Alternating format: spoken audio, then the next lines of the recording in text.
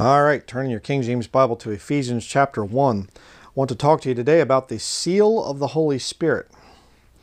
Uh, this is going to be uh, responding to a sermon idea that I had, and I said, Should I do it? And some of you said yes, others said, No, you don't really need to. I'm going to do it just a slightly different way of approaching this subject. Um, I'm just going to tell you exactly what the sermon is about so you'll understand right up front where I'm going to be going with this study. Uh, the issue of the flesh struggling against the spirit. Um, people, I've heard, had somebody in the comments say, oh, that's Gnosticism. You're preaching Gnosticism. It's not Gnosticism. You don't understand. Um, the seal of the Holy Spirit is that the Holy Spirit moves into you. God puts his seal upon you, and your life changes as a result of that. All right, understand what happens at salvation. Before salvation, here is this man standing before you. All right. I have a body, a soul, and a spirit. Everybody has a body, soul, and spirit before they get saved. Okay. The body is corruptible. The spirit is there. You have the breath of life. You know, like that. You can feel breath on your hand. You have the breath of life, and you have a soul. All three parts are there. But the seal of the Holy Spirit comes when you get saved.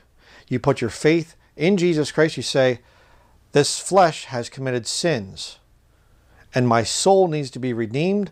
My spirit needs to be born again.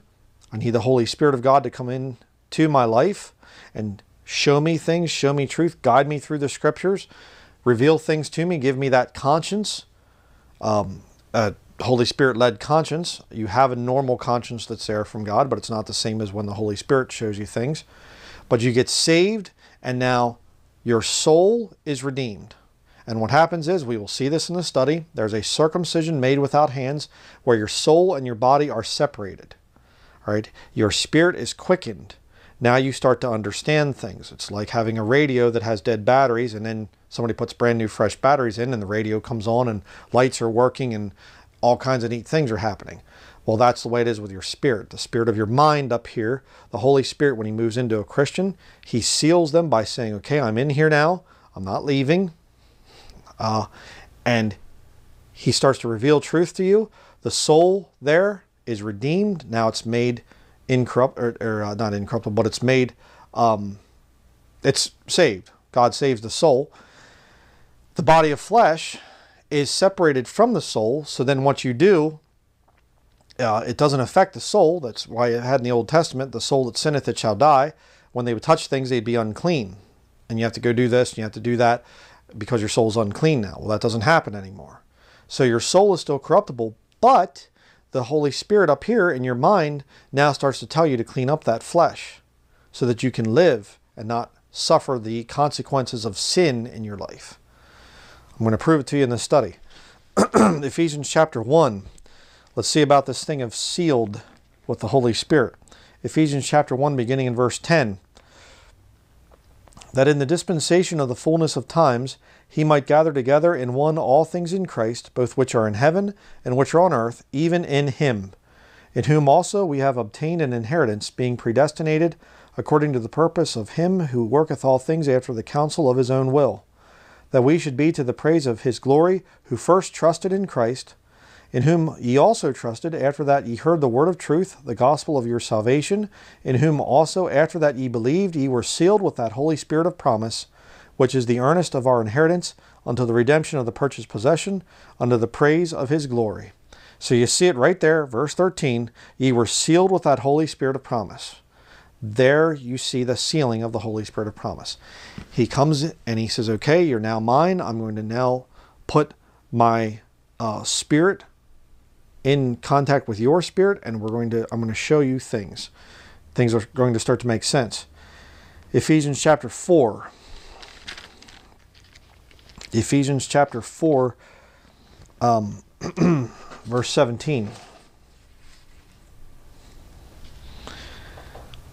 This I say, therefore, and testify in the Lord, that ye henceforth walk not as other Gentiles walk, in the vanity of their mind you have no Holy Spirit, you're just walking in vain, doing things that are vain, the vanity of their mind.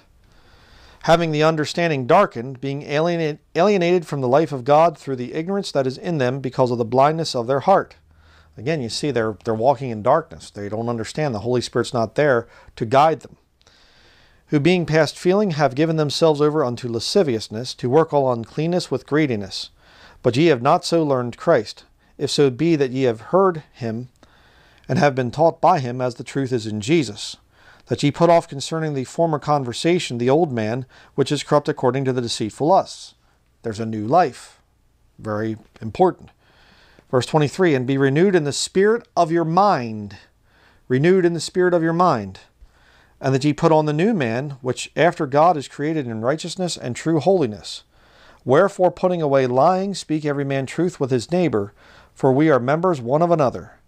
Be angry and sin not. Let not the sun go down upon your wrath, neither give place to the devil. Let him that stole steal no more, but rather let him labor, working with his hands the thing which is good, that he may have to give to him that needeth. Let no corrupt communication proceed out of your mouth, but that which is good to the use of edifying, that it may minister grace unto the hearers. I see so many people, I'm a Christian, and they use all kinds of profanity and with no conscience at all. It's not, well, I slipped, a word slipped out or something. Just no conviction. They're not saved. I've been saying that for a while. You can watch my other studies on that. But look at verse 30. And grieve not the Holy Spirit of God, whereby ye are sealed unto the day of redemption. It doesn't say unto the time that you sin or you backslide or whatever. You are sealed with the Holy Spirit of promise. All right, Ephesians chapter 1. Whereby ye are sealed unto the day of redemption. The Holy Spirit of God seals you. Let all bitterness and wrath and anger and clamor and evil speaking be put away from you with all malice. And be kind one to another, tender hearted, forgiving one another, even as God for Christ's sake hath forgiven you. There's a change that happens. Oh, I don't know. I'm not sure about this changed life stuff. okay. Second Corinthians chapter 1. Turn there. 2 Corinthians chapter 1 verse 18. The Bible says, But as God is true, our word toward you was not yea and nay. For the Son of God, Jesus Christ, who was preached among you by us, even by me and Silvanus and Timotheus, was not yea and nay, but in him was yea. For all the promises of God in him are yea, and in him amen, unto the glory of God by us. Now he which establisheth us with you in Christ and hath anointed us is God, who hath also sealed us and given us the or given the earnest of the Spirit in our hearts. Moreover, I call God for a record upon my soul that to spare you I came not as yet unto Corinth. Not for that we have dominion over your faith, but are helpers of your joy, for by faith ye stand. Okay, what is going on there? What the Bible is saying there is what the scriptures are saying is that God has given you that spirit there. The Holy Spirit of God comes upon you and He seals you with that Holy Spirit. And there's an earnest of the Spirit in our hearts. So it isn't some kind of a thing of you're unsure and you're not really sure yes or no here what i don't really get it and you know it's just kind of no it's a definite changed life that happens and the earnest of the spirit comes and all of a sudden you you have this interest for the things of the lord and you you love to, to hear the old hymns and you want to sing the old hymns and you want to read his word. You want to tell people about jesus christ. You you clean up your life. It's the earnest of the spirit. That's the seal that's there. 2 timothy chapter 2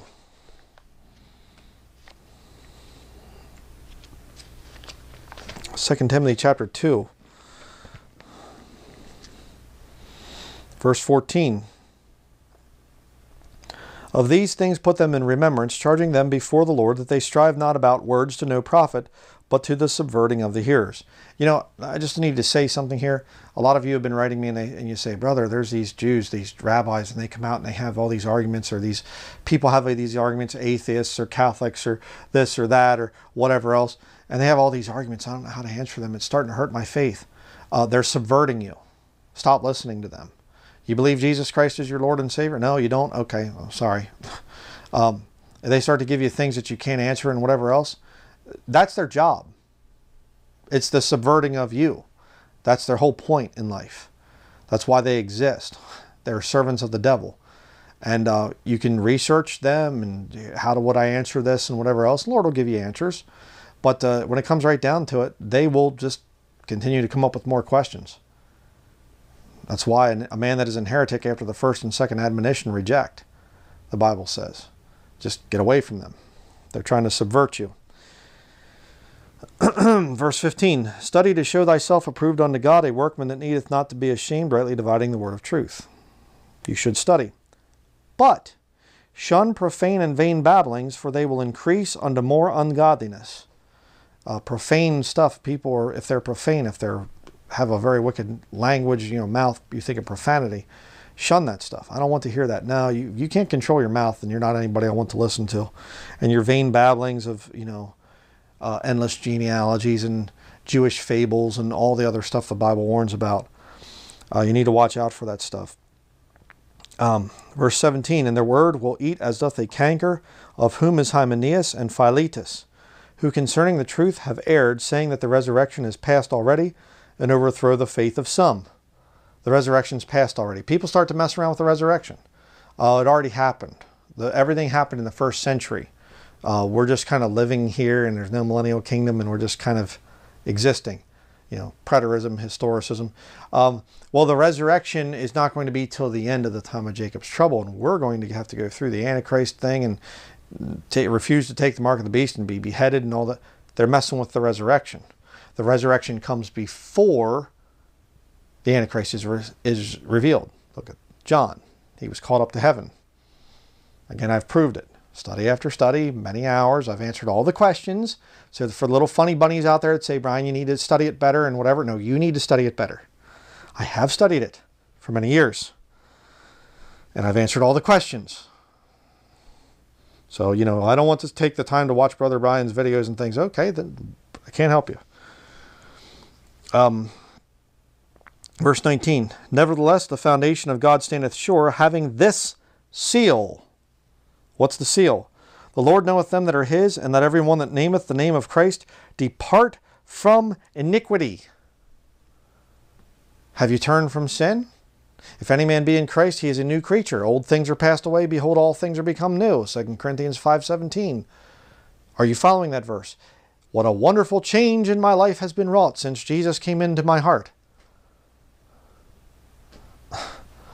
uh, victory in Jesus. Then I repented of my sin and won the victory. Oh, victory in Jesus, my Savior forever. Has there been a change? Has the Holy Spirit come in and convicted you and said, okay, I'm going to start to do things with your life? Colossians 2. Go to Colossians 2.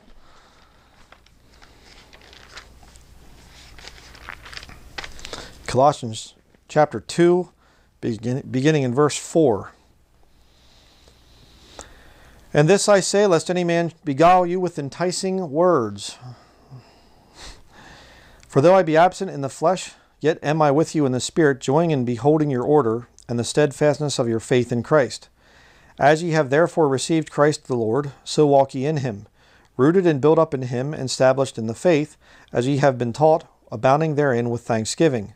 Beware lest any man spoil you through philosophy and vain deceit, after the tradition of men, after the rudiments of the world, and not after Christ. Always amazes me. I hear people, oh, I'm a Christian, I have a degree in philosophy. And I think,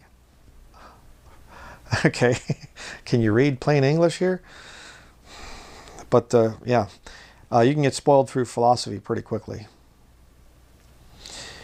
Verse 9 For in him dwelleth all the fullness of the Godhead bodily and ye are complete in him, which is the head of all principality and power, in whom also ye are circumcised with a circumcision made without hands, cutting the flesh away from the soul. That's what's going on there. In putting off the body of the sins of the flesh by the circumcision of Christ, buried with him in baptism, wherein also ye are risen with him through the faith of the operation of God, who hath raised him from the dead. And you being dead in your sins and the uncircumcision of your flesh, hath he quickened together with him, having, having forgiven you all trespasses. Okay? Um, I don't have a problem with what goes on in my flesh. That's Gnosticism to say that there's a struggle between the flesh and the spirit. That's crazy because God made your flesh. Your flesh is beautiful, and you should get along with your flesh, and you should thank God for your flesh. And I've dealt with these heretics for years. Um, then why is there a circumcision? and putting off the, the flesh, the sins of the flesh, the body of flesh. You see, the real seal of the Holy Spirit, when you really understand, okay, yeah, it took this time, it's it's real, it's I'm actually saved, is you can see the in as a lost Christian, what'll do what you'll do is you just kind of put on this, you know, fake little facade. You put on your little Christian outfit, literally. That's why they wear the outfits when they go to the church buildings you know, and they go to the church and, oh, hey, brother, oh, hello, sister, and oh, hi, and hi, and uh, sing your little hymns and, you know, everything else. I sing in the choir, and I'm going to teach adult Sunday school class. And I went to a mission trip, and we handed out toothbrushes to the poor, impoverished peoples, and, and you know, bandaged their wounds, and you know, all the nice little things and everything. And then you go home and you're watching the R-rated movies and uh, using profanity and all kinds of other stuff. See, that's fake. I used to do that. I know. All right, I did that for a long time 25 years of life. Was raised in churches and everything. I was wicked that whole time, pretending to be a Christian. I was I was pretty good though. I really was. I, I wasn't really that bad of a guy, seriously speaking, um, but I was lost. I wasn't born again. But then when you get saved, all of a sudden now you look at yourself in the mirror and you say, ugh, I'm pretty vile. Ugh oh, oh Lord, I can't believe I did that sin again. I'm sorry. You know, and we're going to see this Romans 7. We're going there, the whole thing. That's the seal of the Holy Spirit. The seal of the Holy Spirit is recognizing the fact that there's something different in here now, and that my soul is now cut off, cut apart from this flesh, and you realize just how wicked your flesh is, and, and you just think, corruptible thing here. Look at look at the wrinkles on my hands now. I'm getting old, and, and you know, this corruptible flesh. We shall change, this vile body shall be changed and become incorruptible. You look and you say, oh, yeah. Earnestly desiring to be clothed upon with our house, you know, from heaven and all these different things. We'll see about some of this as we continue. But we're buried with him. The circumcision, it's made without hands, putting off the sins, this body of flesh. Romans chapter 6, let's go there. We'll see about this. This is what I said. If you want to see the difference between the, you know, when you get saved um, and the Holy Spirit moves in, you're going to understand that there's some, um,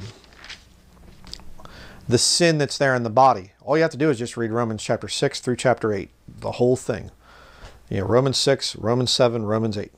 Once you read through that and you understand it, yeah, there's all the proof that you need. I'm giving you a little bit more proof today of this war between the flesh and the spirit. All right, I'll show you the scriptures on that here, here as we continue, but let's see about this thing of being buried.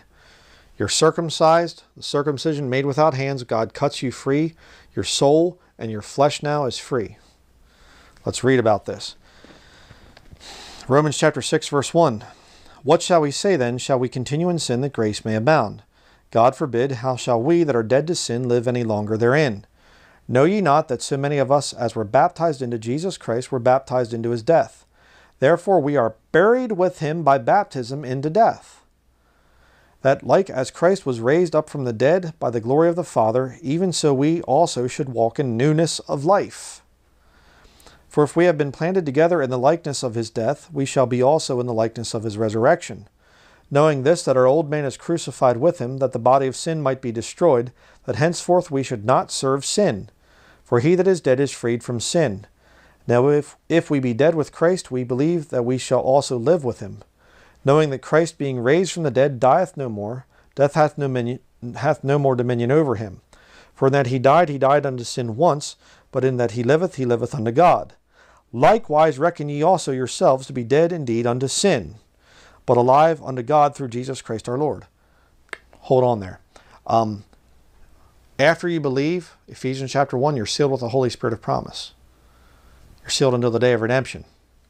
Um, not until you get messed up and you backslide and you sin and whatever. And what's it say here?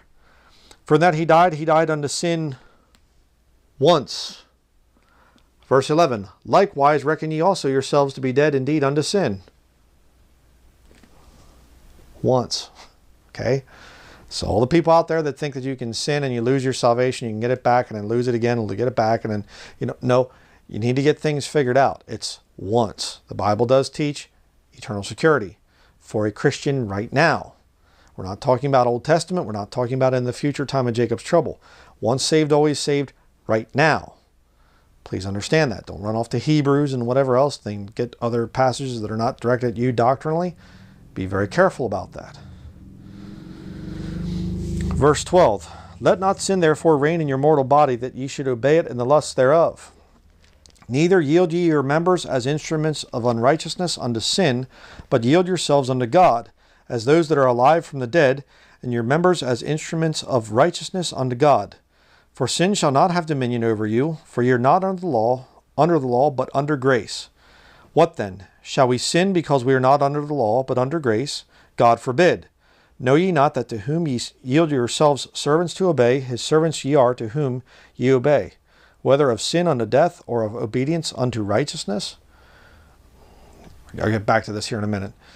But God be thanked that ye were the servants of sin, but ye have obeyed from the heart that form of doctrine which was delivered you. Being then made free from sin, ye became the servants of righteousness. I speak after the manner of men, because of the infirmity of your flesh. For as, as ye have yielded your members servants to uncleanness and to iniquity unto iniquity, even so now yield your members servants to righteousness unto holiness. For when ye were the servants of sin, ye were free from righteousness. What fruit had ye then in those things whereof ye are now ashamed? For the end of those things is death. But now being made free from sin and become servants to God, ye have your fruit unto holiness, and the end everlasting life. For the wages of sin is death, but the gift of God is eternal life through Jesus Christ our Lord. That's written to a Christian. Here's the whole point. Okay? Um, my sin was never redeemed. Or my, excuse me, my, my flesh, my body of flesh was never redeemed. Okay? Um, this flesh is still corruptible.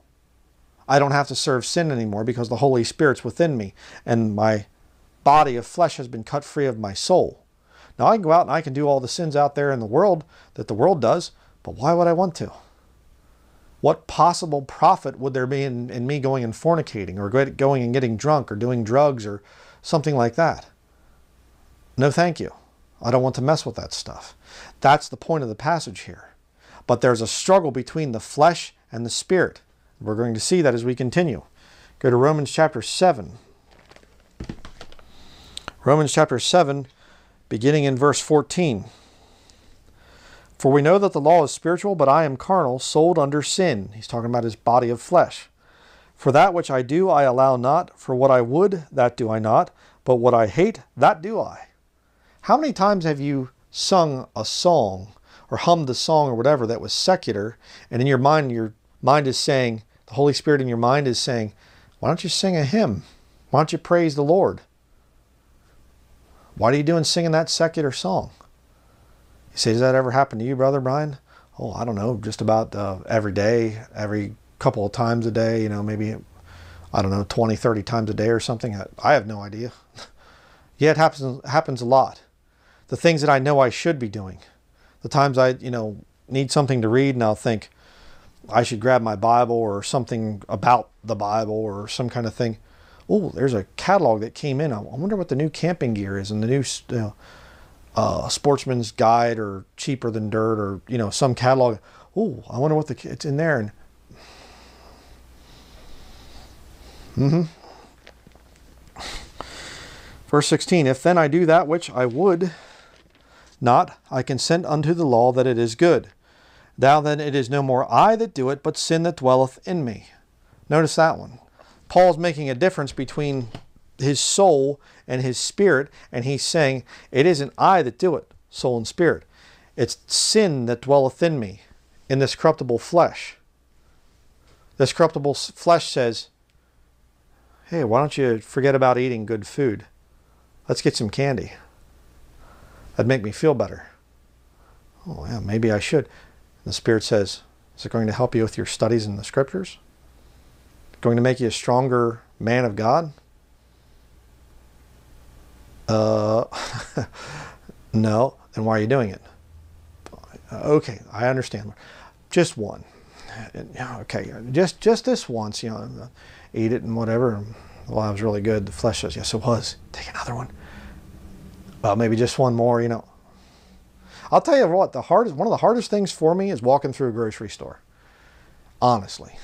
I try to avoid the junk food aisles, but they put them at the end of the aisle. You know, it irritates me. And I'm walking along and I'm, okay, you know, we go out along the outside of the grocery store. You go to the fresh produce area and you say, okay, I get out my little book here, you know, and I'm opening up and I say, all right, um, get my pencil. I carry a pencil in my pocket here on this little side pocket thing. And I go, okay, um, we need some uh, onions, bag of onions. Over, get the bag of onions off the thing, and put it in there, and check and make sure that they're good. Okay. Um, I need some uh, potatoes. Potatoes. Write that down. And all right, now we're going to go over to the organic aisle or whatever, and we'll go down through and we'll get canned beans or we'll get some, you know, marinara sauce or something like that. Good stuff. It's not toxic. And we go down through and we're check check. I get to the end of the aisle. A little Debbie's cakes. Oh, that's man. I, oh, I used to love those oatmeal cream pies and oh no, they actually have those peanut butter chocolate uh, bars. The, the things. Oh, I remember those. Boy, I used to love that. I remember at work, I used to eat those and I would have a Dr Pepper to drink. And I'm not joking. I, that's what I did. Oh wow! Oh, they have the the thing there, the uh, brownies with the white icing on it and the little sprinkles on top of there, and and boy, I used to enjoy those. And, and oh, oh wait, no, stop. All right, get down to the next aisle. You know, looking for meat, and you go to the end of the aisle, and oh, there's gummy fish, Swedish fish. Oh, gummy bears. Oh, look, M and M's. Oh man, I haven't had M and. Oh, there's the ones with the peanuts inside, and uh, uh oh wait, okay, no. I get down to the freezer section, you know, and I'm walking through and I'm saying, okay, don't look over that way, you know. Sour cream, I eat some sour cream and I eat some butter and thinking, yeah, this this will help me be stronger as a Christian and I can live this way. And Rocky Road ice cream on sale. Oh man, that, that looks good. Oh, Treasure Island, or I forget what the one thing was called I had years ago. Birthday cake ice cream, and and there's strawberry and black raspberry ice cream, and oh, there's Friendly's ice cream cakes, and oh, there's this and it. Walk down through the juice aisle, and uh, behind me is a poison pop back there, you know, reaching out its little invisible hands. Drink me, drink me. no, get away, get away, get no. I don't. I want to stay healthy. Stay healthy. No, no, no, no. You know, and believe you me, there have been times I've given in. I've just kind of, well, you know, just a little bit won't hurt or something, and I'm sick, and I it just stuff's toxic. I mean, maybe you some out you out there you can drink that stuff, eat that stuff, whatever else, and it doesn't affect you bad, but it affects me bad. I know what it does to me. I know it hurts my flesh, which ends up tiring out my spirit, and I'm too tired to think of sermons and whatever else. Just stay away from that stuff. Verse 17 Now then it is no more I that do it, but sin that dwelleth in me. For I know that in me, that is in my flesh, doesn't say soul, doesn't say spirit, it's in your flesh, dwelleth no good thing. For to will is present with me, but how to perform that which is good I find not. For the good that I would not, for the good that I would, I do not, but the evil which I would not, that I do. Now if I do that I would not, it is no more I that do it, but sin that dwelleth in me. I find then a law that when I would do good, evil is present with me. For I delight in the law of God after the inward man, my soul, that's the inward man. That's what it's talking about. I delight in the law of God. I want to read his word. I want to have communication with God. Verse 23, but I saw but I see another law in my members, the flesh warring against the law of my mind, and bringing me into captivity to the law of sin which is in my members. O wretched man that I am, who shall deliver me from the body of this death? I thank God through Jesus Christ our Lord. So then, with the mind, I myself serve the law of God, but with the flesh, the law of sin. That is the seal of the Holy Spirit. That's how you know that you genuinely are saved if you're struggling. So, huh? I thought, no, the, the Holy Spirit, you can speak in tongues, you know, that, and I can I can be healed, you know, whack people on the forehead and oh, you know, No. The seal of the Holy Spirit is that struggle. It's the war. It's the war of the flesh versus the spirit of your mind. The times that you eat the wrong thing, that you start to sing the wrong kind of music. You, you're walking through the store and, you know, on comes the 80s rock or whatever else, classic rock, and you, and, uh, you know, and you're walking along, you hear, you know, Creedence Clearwater Revival or something, you know, and you're going, born on a bayou. Stop. No. Uh, here's uh, then Guns N' Roses comes on or something. You know, Welcome to the Jungle. Or they, they play this junk up here. You know, I guess maybe in cities, I don't know. Do they play a newer music or something up? I live in the middle of nowhere, so people are you know stuck in the 1980s and 90s up here. But that stuff just it's it's as if the devil puts it in their minds to you know play that stuff just to mess with Bryan. You know, I mean I I realize that they, you know, probably not, but the whole point is I feel that way sometimes. You know, put the Tastykakes out there that he used to like, put the candy here and put that there just as a temptation to the poor guy, just to keep jabbing his flesh, see if I can get him to fall, you know, and get him messed up so he's ineffective for a few days at least or something. That's how I feel. And you know what? I didn't feel that way when I was a false professing Christian. I went out and I did what I wanted hey, you know, I'm I you know go buy candy. I mean, I literally one of my favorite things to do when I was in high school, and even after I got out of high school, my friend and I would go out to Park City Center down in Lancaster County, Pennsylvania, and they had a, a candy store. Help Yourself is what it was called. And they had these big clear bins with the lids, you know, you'd flip up the lid and these silver scoops, you know, these big scoops. And we'd go in there and you'd get this big plastic bag, Help Yourself on it, you know, and you'd, I would get uh, blueberry jelly beans, jelly belly jelly beans, and grape and strawberry, I think it was. And I, I get, you know, five pounds of these things or something, this big, huge bag of candy, you know. And then my friend and I would go back to his place and we'd sit there playing video games, you know, Panasonic 3DO at the time. And then we update, upgraded to Sony PlayStation, going way back, I know. Um, the original ones, okay, I'm not saying PlayStation, whatever the number is now. But we get that stuff and we just sit there and I'd be just eating junk food. You know, get these uh, candy coated, red candy coated peanuts and things. And I had no conviction of that stuff. There was no struggle between the spirit and the flesh. We got along just fine. I was dead in trespasses and sins. Holy Spirit wasn't there convicting me. All that I'd get occasionally is the Holy Spirit saying, hey, you know, why don't you think about me a little bit here? You, know, you need to be saved. That's all I'd get occasionally. But a, a war going on between my mind and my flesh didn't exist until after I got saved. So if you're struggling with sin and uh, you're fighting it and saying, oh, I can't believe I fell for this. Oh, Lord, I'm so sorry, and whatever, well, there's a pretty good chance that you're saved. Okay? So be encouraged. it should be an encouragement to you. Continuing here, Romans chapter 8. Go down to the next chapter, verse 1. We'll start there. There is therefore now no condemnation to them which are in Christ Jesus, who walk not after the flesh, but after the Spirit. It's a condition. There's no condemnation. The Lord's not going to condemn you as long as you're walking after the Spirit. You're not walking after the flesh, in other words. For the law of the Spirit of life in Christ Jesus hath made me free from the law of sin and death. For what the law could not do, and that it was weak through the flesh, God sending his own Son in the likeness of sinful flesh, it wasn't in sinful flesh, it was the likeness of it. It was a corruptible body that he was in. And for sin, condemned sin in the flesh. His righteousness is imputed to you when you get saved. What right do you have then to go around and sin without any conscience?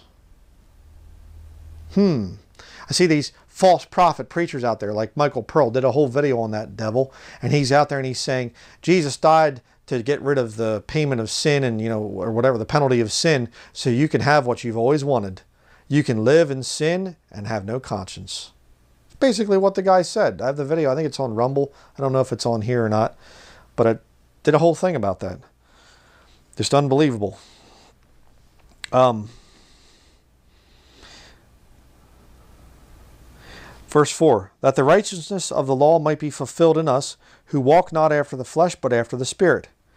For they that are after the they that are after the flesh do mind the things of the flesh, but they that are after the spirit the things of the spirit. For to be carnally minded is death, but to be spiritually minded is life and peace. Amen to that. uh, the wages of sin is death. Um, I've told plenty of stories. I'll tell you some more stories. My son likes to hear these stories. You know, at night he's going to bed and he says, you know, I'll lay on his bed beside him and he'll say, you know, tell me stories from your childhood. And I'll say, okay, and I'll tell him these stories. He loves to have that time. You know, just my father did the same thing with me. He'd tell me stories and things, and I pass a lot of those stories on to my son now. Stories my father told me, and now I tell him those stories. But one of my famous stories, and I might have told this in a video in the past, but just bear with me, I'll tell you if you haven't heard this one. Went to this uh, reunion type of a thing, family get together, uh, some friends, childhood friend of my father, um, Bert uh, Smoker, I think it was. He was a former Amishman, and he had a uh, younger brother that him and his wife and their children actually were missionaries to Germany, and they came back and they were there, you know, visiting, and um, and so he they invited our family, so we went over there and everything, and and one of the relatives worked at uh, there was a candy factory down in Lancaster County, Pennsylvania. Can't think of what the name of that candy factory was now. But um, they one of the things that they made was Twizzlers. You know, the red licorice and things. It's not really licorice. it's just you know, terrible toxic candy, red food.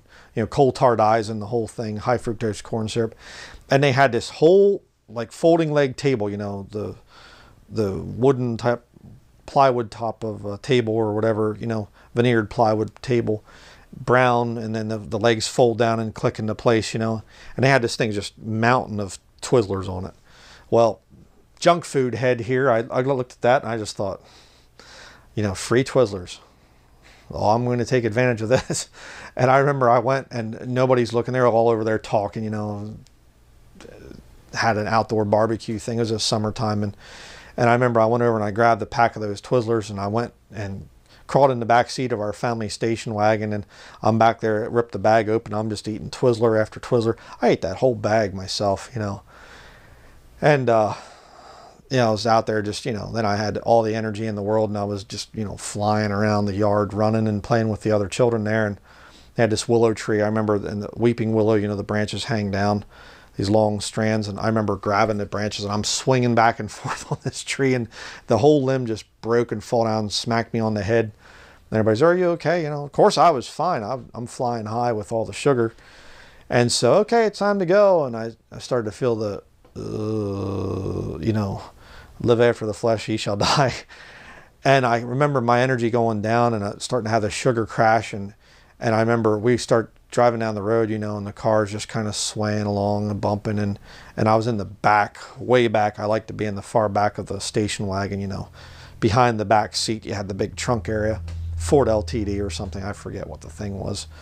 But I remember I was sitting back there and I, I went from sitting to laying down and the car's just kind of going down the road. And I remember I was thinking, I feel so sick. And I was just laying there thinking, I think I'm going to die. It's so bad. And it wasn't too long. And I said, Father, pull it over, pull over. I have to throw up. And he pulled over and I opened up the back and I jumped out and I'm puking my guts out, you know. And went home and I just laying around. You know, I'm just so sick. So uh, when I read, "For to be carnally minded is death, but to be spiritually minded is life and peace," uh, yeah, I'm living proof of that. I can't tell you how many times through the years I got sick eating junk food. So you know, when I, again, when I'm judging people about the junk food thing, I remove the beam out of my eye before I'm judging the speck in your eye. Okay. Um, I doubt many of you out there could stand toe to toe with me with what I used to eat junk food wise. Okay. I was a junk food addict. I mean, six cans of Dr. Pepper in a day when I was working at the boat place. Uh, just, you know, drinking as I'm working, you know, measure this, cut that, grab my soda, you know, pop, poison pop, you know, and, just junk food, junk food, junk food. High school, walking around Jolly Rancher candy in my pocket, you know, little things, pull them out while the teacher's teaching and open it up and, you know, and bubble gum and you weren't supposed to chew gum, but, you know, you're chewing the gum and the teacher turns around. Junk food. Easter time, a whole basket full of candy and marshmallow peeps, jelly beans, chocolate bunny, you know, and the whole thing just eating, eating, eating. Halloween comes around, you know, going around through the neighborhood. And we'd go to my grandparents' place. They lived in East Petersburg, PA, and they had this big, huge development. And we would just walk around with them, you know, and, and oh, your grandchildren, oh, this is cute. You know, we're dressed up. And I mean, we get this little plastic pumpkin thing. It's just overfilled with candy, you know, you're coming home and the whole way home you're eating candy. So when I read in the Bible, to be carnally minded is death. Uh, yeah, I know about that. I know about that very well. And spiritually minded is life and peace. You know, I made the decision, and if you're out there as a junk food head, please listen to what I'm saying. I made the decision at one point in time, I thought, you know, I'm sick and tired of being getting sick. I don't like to be sick. I wonder what would happen if I ate all good food. I wonder what would happen. I wonder if I would not get sick anymore. Well, I get sick rarely, occasionally, now that I'm eating all good food, but uh, it's rare. Very rare. I mean, when my wife first met me, we first got married, uh, we first started coming up to Maine in 2013, and we got married in 2012. First made our trip up to Maine in the fall of 2013, bought our prop, first property, then bought our second property, um, Bearland, and a little junky house in the town of Bridgewater, 2014, January of 2014. And I was detoxing. I was starting to eat a lot healthier at that point in time, but I was detoxing from all the years of sugar, and it was bad. I mean, I had, um, uh, what's the thing? You get real dizzy. Can't think of the, the word right now. Um, I'll think of it.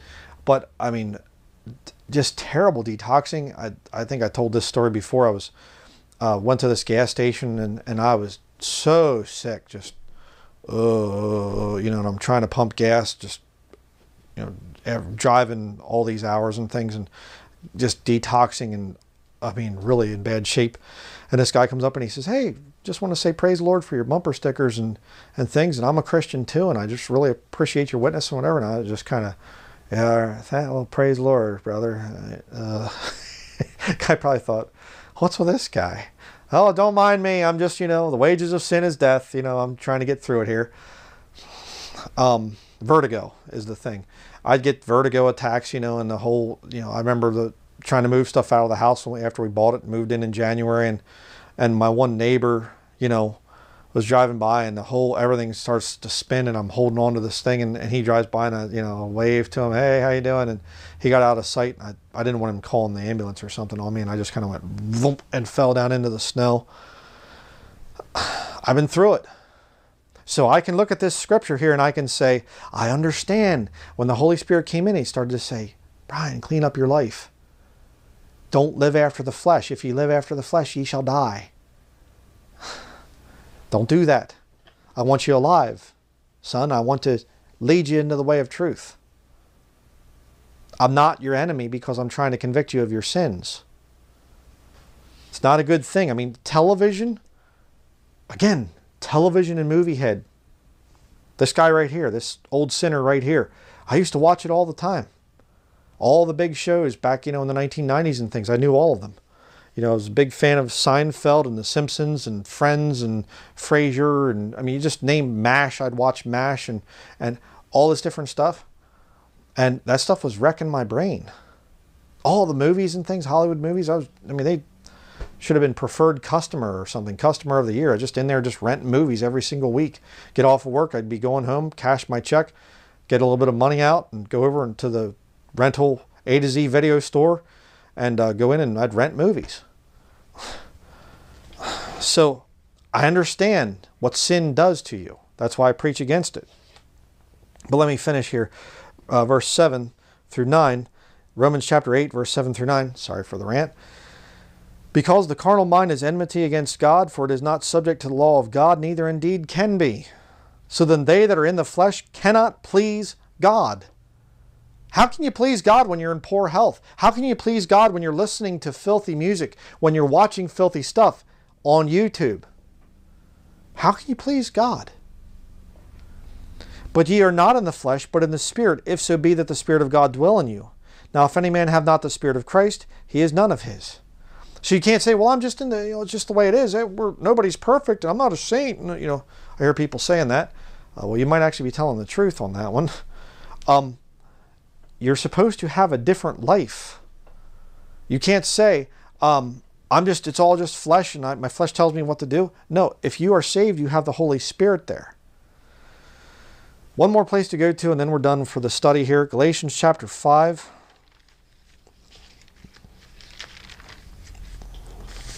Galatians chapter 5, beginning in verse 13.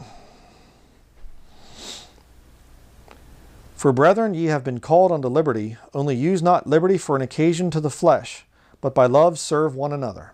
Now, again, I'm really hard on my flesh because I understand how bad my flesh is, how corruptible my flesh is. And so I say, okay, uh, you know, I could get in the vehicle and drive over to the post office. No, you need to walk. Yeah, you're probably right. Um, hey, you know what? I'm going to take my truck and I'm going to use my truck to pull this log. No, you need to pick it up with your some other thing, you know, and pull it and do it. Oh, yeah. I probably should do that to put my. I'm constantly putting down my flesh. What can I do to put down my flesh? Um, having a hard time going to sleep. Okay, get up and go read the Bible. You know, I I do that. I'm mortifying my flesh and putting it down, not to earn salvation all right, that's not why I'm doing that. I want to be a stronger Christian. That's why you do that. Um, Galatians chapter 5. Uh, where are we at? Um, for brethren, ye have been called unto liberty, only use not liberty for an occasion of the flesh, but by love serve one another. For all the law is fulfilled in one word, even in this, Thou shalt love thy neighbor as thyself. But if ye bite and devour one another, take heed that ye be not consumed one of another. This I say then, walk in the Spirit, and ye shall not fulfill the lust of the flesh. The more you spend time in this book, the more you sing hymns, you aren't going to fulfill the lusts of your flesh. It's just that simple. One of the quickest ways to overcome the pornography addiction thing is every time you get tempted, and you know, oh, I'm just tempted to look, nobody's here. I want to look this up online. I'm just going to kind of go to this website that I've been to before and I'll just kind of take a quick look and see if there's anything new or something. I know all about that too. When you're going to do that, I can tell you exactly what will destroy the lust just like that. You know what it is? Get a hymn book. I have one right over here. Get a hymn book open up to a hymn. Marvelous grace of our loving Lord, grace that exceeds our sin and our guilt. That's a good one right there. Um, open up and start singing it. And you will feel your flesh and your lust just go down like that. Promise you, it works every time if you're saved you're not saved, well, it's not going to be much help to you. Verse 17 For the flesh lusteth against the spirit, and the spirit against the flesh. So it's not just a matter of, oh, the, the spirit's just kind of there weakly, just kind of saying, please, you know, do what's right. You know, you, you see these things, they have the angel on the one shoulder and the devil on the other shoulder or something. Uh, no, it's not this little, you know, nice little guy over here kind of, please. No, the spirit against the flesh. The Spirit is against the flesh. The Spirit, the Holy Spirit, when you're saved, that seal of the Holy Spirit will be, the Lord will say, don't do that. Put that down. You're not going to eat that. You know what's going to happen. What do you did? Why did you do that? That was stupid. You know, you have to listen to the Holy Spirit. And these are contrary the one to the other, so that ye cannot do the things that ye would. But if ye be led of the Spirit, ye are not under the law. Okay, you're not going to go to hell. The law is our schoolmaster to bring us to Christ. Uh, verse 19 Now the works of the flesh are manifest, which are these adultery, fornication, uncleanness, lasciviousness, idolatry, witchcraft, hatred, variance, emulations, wrath, wrath, strife, seditions, heresies, envyings, murders, drunkenness, revelings, and such like, of the which I tell you before, as I have also told you in time past, that they which commit such things shall not inherit the kingdom of God. What is the kingdom of God in that passage? It's a reference to spiritual fellowship, peace, joy, and and uh, let me find the verse quick. It's over in the book of Romans. Want to get that right. This is not in my notes. I'm just Lord put this in my mind as I'm preaching here. All right, found the verse. Romans chapter 14, verse 17. For the kingdom of God is not meat and drink, but righteousness and peace and joy in the Holy Ghost. So when you read over here in verse 21 of Galatians chapter 5, they which do such things shall not inherit the kingdom of God. It's not talking about the millennial kingdom, it's or heaven. It's talking about uh, peace and righteousness, peace, and joy in the Holy Ghost. All right. If you want righteousness, peace, and joy in the Holy Ghost, you have to abstain from these fleshly lusts here. As I'm preaching through this, my flesh and my spirit, if you haven't noticed, are very much fighting right now. A lot of fleshly things coming back to my mind, and some of it is good. I'm trying to warn people out there, but start getting my brain all confused and everything here. Verse 22, Galatians 5:22. But the fruit of the spirit is love, joy, peace, long-suffering, gentleness, goodness, faith, meekness, temperance. Against such there is no law. And they that are Christ's have crucified the flesh with the affections and lusts. If we live in the Spirit, let us also walk in the Spirit. Let us not be desirous of vainglory, provoking one another, envying one another. So that's going to be it for this study. I really do hope it's been a challenge to you. Um, again, don't ever look at me and say, well, Brother Bryan is just the most sanctified, holy guy, just never made mistakes. Don't think that, because that's certainly not true. I've made a lot of mistakes in my life. I've done a lot of really stupid things. And um, there are many times when I should have done something that I knew was right. Holy Spirit convicted me about it, and I didn't do that. But that struggle there, the struggle between the flesh and the spirit, is proof. That's the seal of the Holy Spirit being there. And it's nice to know that I am sealed until the day of redemption. And that if I do things, if I mess up according to the flesh, that I'm going to pay for that in this life. If ye live after the flesh, ye shall die. Um, if I go out and I buy a bunch of junk food, or if I go and spend a whole bunch of time on my computer over here and waste time on video games or some kind of thing like that, thankfully the Lord's pretty much taken that as desire away from me. Same thing with pornography. Um, but if I would go back to that stuff, what's going to happen is my flesh will be punished, not my soul, the inward man, or my spirit up here, the spirit of my mind. Um, it's not going to be affected. I will be vexed, but that's all that will happen. I am sealed until the day of redemption, and you are too if you're a Christian. So, just to answer that question, um, lost people, they're, they say, "Oh, my flesh is good. It's wonderful. It's a beautiful thing. I don't have any conviction of the sin stuff like you do. I don't believe that I'm in need of a savior. I don't believe that I need to sanctify things or whatever else." Um, then you don't have the seal of the Holy Spirit of God in your life. And if that's the way you feel, uh, you really need to examine yourself because I can pretty much tell you, you that you are lost if you don't feel that war between the soul, the spirit, and the flesh, as the Bible talks about in the book of Galatians.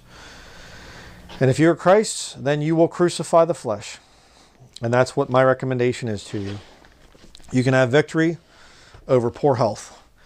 You can have victory over um, evil thoughts and things like that, and wasting time and all the different things that are out there. You can have victory over that, but you have to stay by the book and be led by the Holy Spirit of God. And that's what I recommend. That's my desire for my viewers. And it's my desire for myself. And so, hopefully, that has been a blessing to you. Um, Again, thank you to everybody out there for supporting the ministry. I can't say that enough. That's um, a great blessing to me to be able to continue preaching the word, and I try to do my very best. And um, so I guess that will be it for now. Again, thank you very much for watching, and uh, please do keep us in your prayers.